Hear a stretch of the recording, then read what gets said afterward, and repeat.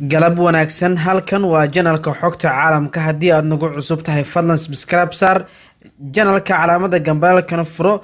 Wararku xiise geliye iyo xog rasmi ah ayaan kuusoo gudbi doonaa insha allah. Saddexdii maalin u dambeeyey waxaa ka socday magaalooyinka muqdisho iyo dhuusamareeb iyo garowe iyo ankara. Wadahadallo qarsoon oo u dhexeeyey siyaasiyiin ku kala aragti duwanaan jiray siyaasadda soomaaliya laakiin hadda u muuqata in ay qaateen hal wado ama mowqif oo cusub taasi oo weji cusub u yeelayso siyaasadda soomaaliya islamarkaana abuuri doonto colaad siyaasadeed oo hor leh oo dalka gelin doona marxalad aan waqtigeeda la joogin. Madaxweyne axmed qoorqoor oo ay gadaal ka riixayaan fahad yaasiin iyo cabdikariin xuseen guuleed oo wakiil ka ah madaxweyne farmaajo ayaa waxa ay wadahadal qarsoodi ah la fureen. Madaxweyne siciid cabdulaahi deni iyo madaxweynaha jubbaland axmed madoobe wadahadalladan oo intooda badan ku dhacay si foolka fool ah ayaa sidoo kale ku dhacay dhanka qadka taleefanka whatsapp. Kulamadan qarsoodi ah ayaa waxaa looga hadlay afar qodob oo xasaasi ah. Qodobka koowaad ayaa ah in farmaajo la siiyo waqti kordhin laba sano ah oo ka bilaabanaysa bisha februaayo. In ra'isul wasaare xasan cali kheyre la bedelo oo lagu bedelo cabdikariin xuseen guuleed oo ka soo jeeda beesha habargedir halka laba sano kadib siciidin uu tartami doono jagada ra'isul wasaaraha soomaaliya ama tan madaxweynaha marka laga takhaluso madaxweyne maxamed cabdulaahi farmaajo go'aanka doorka siciid deni uu ku yeelan doono dowladda soo socoto ayaa la gaari doonaa waqti dambe. In siciid deni loo fasaxo lacago gaaraya ilaa iyo kow iyo toban milyan oo doolar oo uga maqan dowladda federaalk ee soomaaliya islamarkaana shan milyan oo dheeraad ah loogu daro si iyada oo la fiirinayo xaaladaha dalku uu iminka marayo axmed madoobe afartiisa sano in loo xaqiijiyo qeybna uu ku yeesho golaha wasiirada ee la soo dhisi doono. Lacagaha kaga maqnaa dowladda federaalk ee soomaaliya loo sii daayo. Axmed madoobe ayaa isbuucyada soo socda safar ku tegi doono dalka qatar halkaasi oo looga soo diri doono casuumaad ay la socoto kaalmo dhaqaale madaxweyne axmed qoorqoor ayaa ka ahaa garwadeen kulamadaasi qarsoodiga iyada oo ay si joogto ah qadka taleefanka ugu jireen cabdikariin xuseen guuleed iyo fahad yaasiin oo wakiil ka ah madaxweyne farmaajo. Dhanka siciid deni waxaa isagana dhankiisa wadahadalka uga jiray ama hogaaminaya la taliyaha gaarka ee dhanka siyaasadda ganacsada shido inta ay socdaan wadahadaladan waxaa dhowr mar iska hor yimid aragtiyo kala duwanaansho uu dhex maray. Axmed madoobe iyo siciid deni taasi oo ku sigatay inuu qorshahan qarsoodiga ahi dhicisoobo. Kadib markii wadahadalka uu galay heer xasaasi ah islamarkaana uu axmed madoobe keenay labalabeyn ama walwal. Isaga u gaar ah ayaa waxaa la go'aamiyey in axmed qoorqoor iyo axmed madoobe labadaba la geeyo garowe. Si saddex shir oo gooni gooni ah halkaasi ugu yeeshaan kadib tacsida madaxweynihii hore ee puntland maxamed xaashi. Habeenkii la soo dhaafay ee tacsida kadib ayaa shir albaabada u xiran yihiin. Waxa uu ka dhacay magaalada garowe. Weli lama helin xogta rasmiga ee la xiriirta go'aanka ugu dambeeyay ee ka soo baxay kulankii ay yeesheen. Laakiin waxaa sidoo kale la xaqiijiyay inuu ku soo dhammaa is-afgarad iyada oo markii dambe qadka taleefanka la soo geliyay madaxweyne farmaajo farmaajo oo qeyb ka ahaa qorshahan ayaa dhankiisa waxa uu xalay kulan kula qaatay xarunta villa soomaaliya.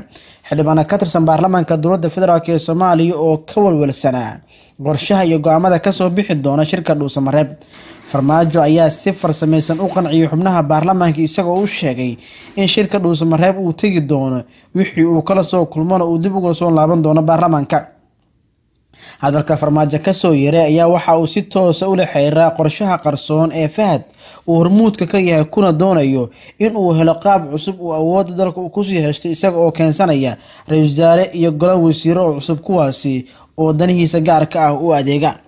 Xasan cali kheyre oo dhabarka laga taabtay shaqo aan jirinna loo diray.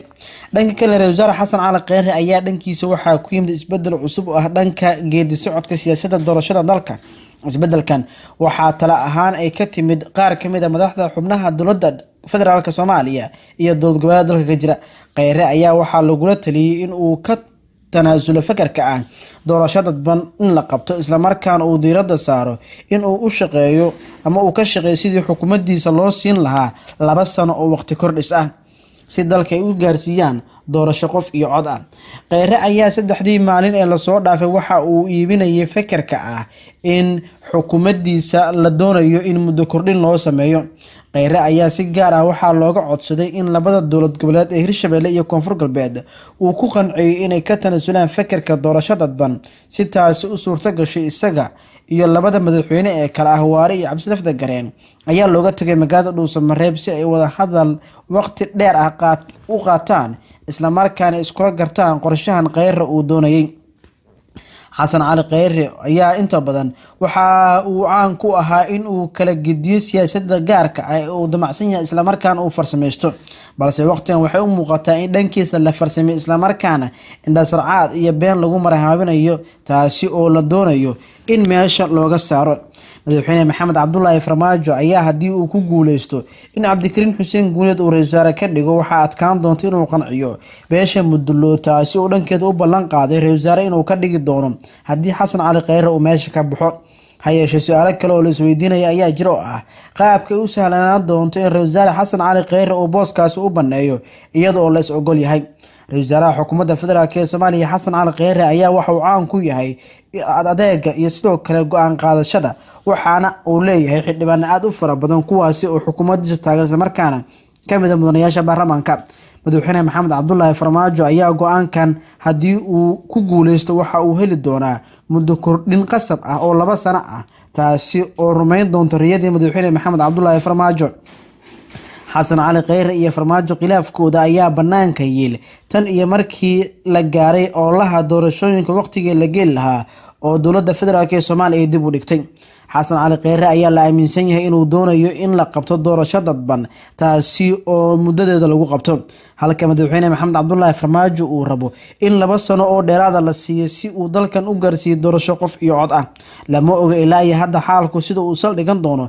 Ha yeeshee siyaasadda soomaaliya ayaa waqtigan waxa ay mareysaa mid sabeyneysa badda islamarkaana aan la ogeyn halka ay ku caarin doonto madasha xisbiyada qaran oo dhexdooda ka baxay wadahadalkii iyo sidoo kale xisaabtankii waxaana ay u muuqdaan dhankooda in hadda ayna waxba gacanta ku haynin oo laga dhex baxay.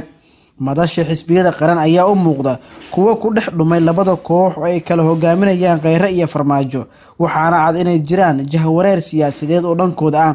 Go'aanka rasmiga ay qaadan karaan ayaa wuxuu noqon karaa inay taageeraan laba dhinac midkood lamana oga midka ay raacin doonaan siyaasadda soomaaliya ayaa mar kale dib ula soo baxday wejigii hore looga bartay ee munaafaqeynta been isku sheegidda iyo beecinta danaha ummadda soomaaliya. Su'aasha isweydiinta mudan ayaa waxa ay tahay yaa ku bixi doona khiyaanadan siyaasadeed ee ka socota dhuusamareeb iyo muqdisho. Dad badan ayaa waxay isweydiinayaan su'aal ah ra'isul wasaaraha xukuumadda federaalk ee soomaaliya xasan cali kheyre daban dabinka loo dhigay ma ka baxsan doonaa mise uu ku dhici doonaa? Dadka qaar ayaa waxa ay walwal ka qabaan in lala gediyey madaxweyne maxamed cabdulaahi farmaajo islamarkaana lagu guuleysto in dalka uu ka dhaco doorasho dadban oo ay ogol yihiin hogaamiyaasha maamul dalka ka jiro. Dadka qaar ayaa waxay iyaguna gorfeynayaan ama ay sheegayaan in madaxweyneyaasha puntland iyo jubbaland ay suuragal inay qaataan lacagahaasi kuwaasi oo hadda ay u baahi qabaan taana ay sababi karto in uu hirgalo damacan uu garwadeenka ka yahay ama uu dalaalka ka yahay. Cabdikariin xuseen guuleed uu hami dheer uga jiro. Ra'isul wasaaraha xukuumadda federaalk ee soomaaliya inuu mar noqdo taasi uu hadda heshto. Ballanqaad aan sidaasi u buurnayn. Beesha habargedir qudheeda ayaanan ku qanacsanayn cabdikariin xuseen guuleed waana sababta sii adkeyn doonto in xilkaasi uu hanto. Siyaasadda soomaaliya ayaa iminka waxay u muuqataa mid aan san lahayn islamarkaana aan la ogeen halka geedigan ay ku furan doonto dadka qaar ayaa aada waxay u dhalisan yihiin habka xukuumadda federaalk ee soomaaliya u wajahayso iyo sidoo kale khilaafka xukuumadda iyo madaxweynaha iminka soo ifbaxay oo aan la ogeyn qudhiisa meesha uu saldhigan doono iyadoo xitaa shaki laga muujinayo halka uu ka soo ifbaxay ama uu ka soo bilowday. Ikhyaaray haddii aad nagu cusub tahay janalkan sabscribe saara qeybta hoose ee comment aragti noogu reeba gambaleelkana furta nabaadiino